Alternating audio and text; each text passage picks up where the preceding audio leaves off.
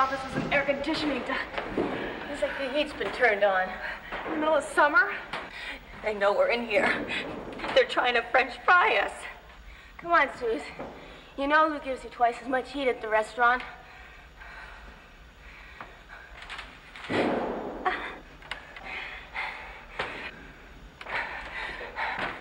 Damn! Wrap whatever you can around your hands.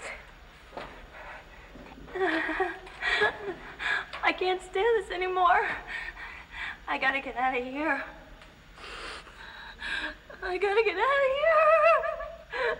Come on, Suze. Hang in there.